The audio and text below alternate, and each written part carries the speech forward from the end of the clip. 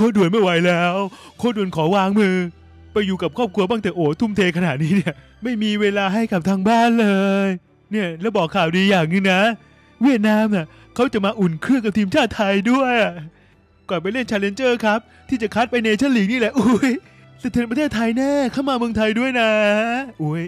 จริงเหรอครับโค้ชด่วนครับแหมโค้ชด่วนนี่ ผมเนี่ยใครไม่รักโค้ชด่วน ผมนี่แฟนคลับโค้ชด่วนนะครับ เพราะโค้ชด่วนเนี่ยผมรู้โค้ชด่วนหล่อ ผมเป็นภาพสมัยก่อนแล้ว แต่อย่าลืมครับ1ไลค์เท่ากับข้าว 1 เม็ดพราพ่อแม่ทุกคนเนี่ยซัพพอร์ตช anel อย่างนี้ได้นะครับ แค่กระดิกนิ้ว ผมมีข้าวกินทันที อย่างก แค่ออกแรงนิ้วเท่านั้น และอย่าลืมครับกดปุ่ม thank you ขอบคุณมาบ้างนะครับ ถ้าอยากจะซื้อข้าวเลี้ยงผมนะครับขอเปิดรายการก่อนดีกว่าครับ ยินดีต้อนรับสู่ช anel ความลับ ฟุตบอลไทยครั้งนะครับ ใครไม่กดติดตาม ใครไม่ด่า ฝากด่า และฝากกดติดตามด้วยครับ กับทั้งหมดนะครับ แหม ช่วงนี้นี่วอลเลย์บอลนี่ อันที่จริงเนี่ยจบเนชั่นลีกวอลเลย์บอลไม่จบนะครับยูนู่นยูนี่ไปแข่งกันเพียบเลยครับยู21 ทีมชาย ไทยจะไปชิงแชมป์โลกนะครับ เริ่มแข่งวันนี้เนี่ยนะครับ แล้วมีอีกหลายรายการยู16 ก็เพิ่งตกรอบไปนะครับ ชิงแชมป์เอเชียนะครับ แพ้จีน แม้แต่กีฬาที่เขาอยากจะมาเทียบเคียง กีฬาวอลเลย์บอลนะครับ คือกีฬาอะไรครับที่ไม่ใช่ฟุตบอลเนี่ยกีฬาที่ไม่ใช่เบอร์หนึ่งก็คือกีฬาเทคบอลนั่นเอง เทคบอลเคยมีกระแสอยู่พักหนึ่งในช่วงซีเกมก่อนซีเกมนะครับ เขาเนี่ยแอบด้อมๆไปดูสนามอินดอร์สเตเดียมหัวหมากเหมือนกัน เพราะว่าเขาจะจัดในสเตเดียมหัวหมากเหมือนกับวอลเลย์บอลเนชั่นลีกครับ จะมาอินกระแสเหมือนกันโดยเทคบอลโลกนะครับ จะมาจัดเทคบอลเวิลด์คัพที่เมืองไทยในปลายปีนี้ครับ ยังไม่กำหนดวันนะครับ แต่ทีมงานเทคบอลโลกเนี่ยแอบมาดูเรียบร้อยแล้ว หวังว่าจะอลังการเหมือนเนชั่นลีกนะครับก็คือเนี่ยวิววามเนชั่นลีกล่าสุดเนี่ยครับก็เพิ่งอบรมนี่ครับคุณพี่มอร์เทน สุดหล่อที่ไปเป็น staff ให้กับกัมพูชานะครับคนนี้นะครับ ก็มาอบรมกรรมการเรียบร้อยแล้วครับจะมาจัดชิงแชมป์โลกนะครับ แต่ก่อนจะผ่านชิงแชมป์โลกนะครับ จะมีการจัดเทคบอลที่สมุยด้วยนะครับ แต่มันก็ฮาก็คือนะครับ จะจัดกันเดือนสิงหาคมนี้แล้วนะครับ วันที่ 10ถึง13 เนี่ยที่สมุยนะครับ แต่มีคนสมัครเพียงแค่ 21 คน 21 คนเท่านั้น จากการจัดการแข่งขันทีมชายคู่ หญิงคู่แล้วก็คู่ผสมนะครับ มีคนสมัครมา 21 คนเท่านั้น โอ้โห น่ารักมากครับ 21 คน 21 คู่นะครับ เรียกว่าเนี่ยแทบไม่มีคนสมัครเลยนะครับ ตอนนี้เนี่ยต่างกับที่ลอส a อนเจลิสที่จะจัดล่าสุดนี่นะครับ จะจัดวันที่ 14 กรกฎาคมนี้นะครับ โปรแกรมล่าสุดเทคบอลนะครับ มีคนสมัครไป 70 คู่แล้วนะครับ ไทยแล้วนี่ครับ อีกเดือน 2 เดือนเนี่ยคนยังสมัครแค่ 20 คนเนี่ยต้องพิจารณาตัวเองแล้วล่ะครับ นี่ขนาดจัดเมืองท่องเที่ยวอย่างสมุยนะครับ นี่คือ เทคบอลนะครับที่เขาจะตามรอยวอลเลย์บอลเนชั่นลีกนะครับที่จะมาจัดที่สนามอินดอร์สเตเดียมหัวหมากนะครับอยากรู้ว่าจะมีคนดูสักกี่คนแหมแต่วอลเลย์บอลสาวไทยมีอะไรบ้างครับพ่อแม่ครับวอลเลย์บอลสาวไทยยังไม่หมดโปรเจกต์การแข่งขันนะครับเพราะว่าอะไรครับ โอ้โห เวียดนามก็จะไปแข่ง Challenger ครับที่จะเอาโซนต่างๆ มาเจอกันทั้งยุโรป 3 ทีม อเมริกาใต้ เอเชียแอฟริกามาตบกันครับเพื่อหาหนึ่งทีมไปเนชั่นลีกปีหน้านะครับ เวียดนามตอนนี้ครับ หลังจากตอนแรกเงางอนว่าโอ้ยพวกเราไม่มีเงินเลย FIVB ออกให้หน่อย FIVB บอกเออเราออกให้บ้างนะบางบางบางส่วนนะค่าโรงแรมน่ะออกให้แต่เขาบอกว่ายังไม่พอครับ สุดท้ายเนี่ยต้องมีบริษัทปูนซีเมนต์จากเวียดนามครับซึ่งเป็นคู่แข่งของ SCG ที่ทำตลาดที่เวียดนามนะครับ อย่างบริษัทเทปดังหาวเช็ดดึกเกียนครับหรือเรียกเป็นภาษาสากลก็คือดึกเกียนเคมีคอลนะครับ ผมพูดผิดไปครับเขาไม่ใช่บริษัทปูนซีเมนต์ครับเคมีคอลคือบริษัทผลิตสารเคมีพวกยานู่นยานี่เนี่ยนะครับยาขัดห้องน้ำยานู่นยานี่ส่งออก ในเวียดนามแล้วก็ทั่วเอเชียอาเซียนนะครับ ไม่ใช่บริษัทเล็กๆนะครับ โดยเจ้าของเนี่ยครับติดอันดับคนรวยที่สุดในโลกเลยของเขาด้วยนะครับ เป็นหนึ่งในบริษัทที่รวยที่สุดของเวียดนามในตอนนี้ด้วยนะครับ ให้เงินทีมชาติเวียดนามมาแล้วครับ 200 ล้านดองนะครับ กี่บาทหาเอาเอง รู้สึกว่าจะ ล้านกว่าบาทแล้วมั้งครับ ได้ไปแข่งที่ฝรั่งเศสแล้วนะครับ โดยจะแข่ง โดยจะแข่งแบบแพ้ตกรอบแมตช์แรกเหมือนเดิมครับ เจอกับเจ้าภาพฝรั่งเศส โอ้โห เจอกับเจ้าภาพวันที่ 27 กรกฎาคมนี้นะครับ แพ้ตกรอบ น่าจะแพ้ทีเดียวตกรอบเลย ฝรั่งเศสเนี่ยตัวโหดเยอะมาก เล่นในลีกอิตาลีเพียบ ลีกยุโรปเพียบนะครับ ถึงแม้ว่าเป็นทีมที่ไม่เล่นเนชั่นลีก แต่ผู้เล่นของเขาเนี่ย โอ้โห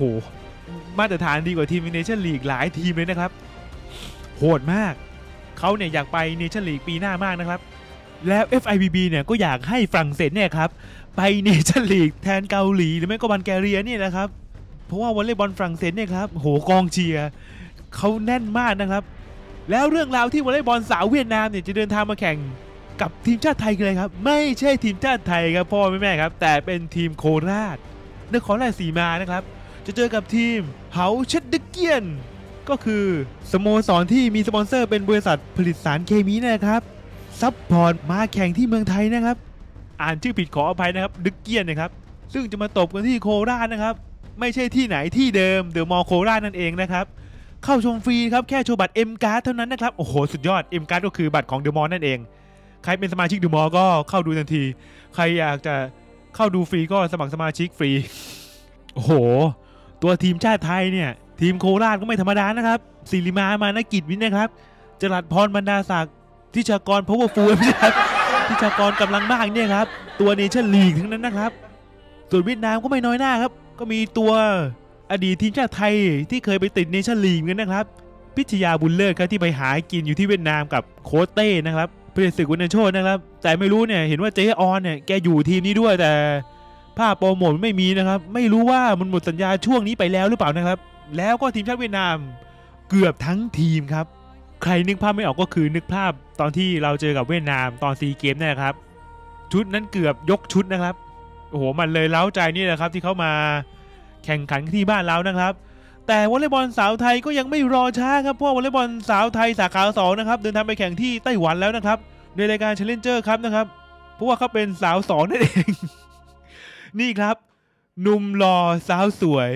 รวมพลังกัน เดินทางไปแข่ง Challenger ครับก็คือวอลเลย์บอลชิงแชมป์เอเชียในฝั่งของผู้ชายเนี่ยนะครับเพื่อไปแข่งเนชั่นลีกผู้ชายนะครับถ้าคัดเลือกผ่านนะครับรอบคัดเลือกนี่พวกเธอไปแล้ว รุ่นน้องผมทั้งนั้นเลย ที่สวยๆเนี่ยครับ บางคนเนี่ยก็สวยอย่างมีคุณภาพ บางคนก็สวยด้วยกำลังครับ บางคนก็หล่อ แต่บางคนเนี่ยหล่อแต่ก็อยากสวยอยู่ลึกๆเพราะว่าเขาเป็นผู้ชายสีเทาครับ ไม่ต้องบอกนะครับสีเทาคืออะไรนะครับ แปลงเป็นภาษาอังกฤษเองนะครับ เดินทางไปแข่งที่ไต้หวันแล้วนะครับ รอเชียร์กันได้เลยนะครับสำหรับทีมชาติไทยชายไทย 2 ครับ ทีมชาติไทยสาขา 2 หรือทีม2นั่นเองครับ แม้แต่โค้ดด่วนตอนนี้เนะครับ แกหายเงียบเข้าไปในกรีเมฆจนผมต้องโทรถามเลยครับว่า กระแสข่าวที่จะลาออกนั้นจริงหรือเปล่าครับ นักข่าวเนี่ยถาม ซึ่งแกเนี่ยเกือบจะตันหน้าไปแล้วนะครับ ตอนนั้นนะครับ แกเนี่ยขึ้นหนักมากถาถามไปได้ ผมเลยต้องไปสืบจาก IG ของลูกสาวของโค้ชด่วนครับ น้องเนยสุดสวย เธอคนนี้นี่ เป็นลูกสาวของโค้ชด่วนนะครับ ซึ่งหลายคนเนี่ยรู้แล้วบางคนก็ไม่รู้นะครับ เธอเนี่ยชอบแอบไปดูวอลเลย์บอล เธอเนี่ยแอบไปดูวอลเลย์บอลเนชั่นลีกที่แข่งที่สนามเมืองไทยเนี่ยเกือบทุกแมตช์แล้วเธอเนี่ยแทบไม่มีเวลาอยู่กับคุณพ่อเลยนะครับ เพราะคุณพ่อเธอเนี่ยครับเดินทางไป แข่งที่นู่นที่นี่เพียบนะครับ ลองดูบรรยากาศ โอ้เห็นโค้ดด่วนแกเนี่ยน่าจะมีความสุขกับลูกสาวอะไรกันแล้วครับ นี่คือตอนไปออกงานแต่งของใครไม่รู้สักอย่างครับ คุณเจนนี่กับคุณ